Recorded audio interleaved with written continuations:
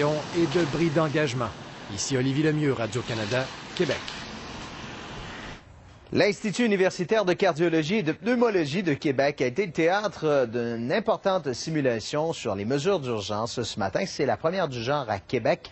L'objectif, euh, c'est bien sûr de tester la réaction des services de santé dans le cas d'une importante catastrophe. Et ici, le scénario qu'on a choisi, c'est un carambolage impliquant deux autocars. Sarah Dion Marquis.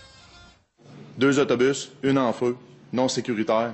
Une trentaine de figurants avec des coupures, des brûlures et des fractures. Ils sont victimes d'un accident d'autocar. Ça fait mal, ça chauffe! Il s'agit de la première simulation d'un code orange dans la région de Québec.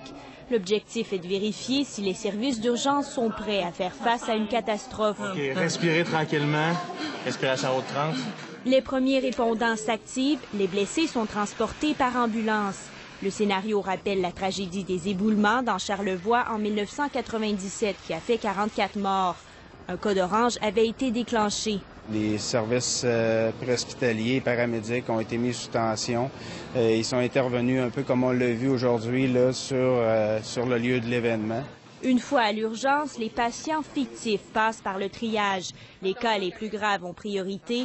Certains sont redirigés en salle de réanimation ou en salle d'opération. C'est vraiment une artère qui est lacérée. Le personnel de l'urgence traite les 27 figurants comme s'ils étaient de véritables patients. Les gens n'étaient pas avisés que le code orange allait avoir lieu euh, ce matin euh, et euh, ça a été très, très bien. Les gens se sont très bien organisés. On a eu une très belle réponse au niveau du personnel. L'hôpital fera un bilan complet de l'exercice dans les prochains jours, ce qui permettra d'apporter des améliorations aux procédures en place.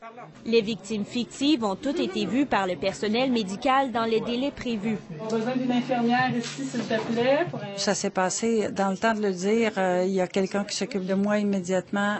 Si j'avais des proches qui étaient pris dans une situation comme ça et que je savais qu'on s'en occupe comme ça, ça, je serais rassurée effectivement. Monsieur, ouvrez les yeux. Ici Sarah Dion-Marquis, Radio-Canada, Québec.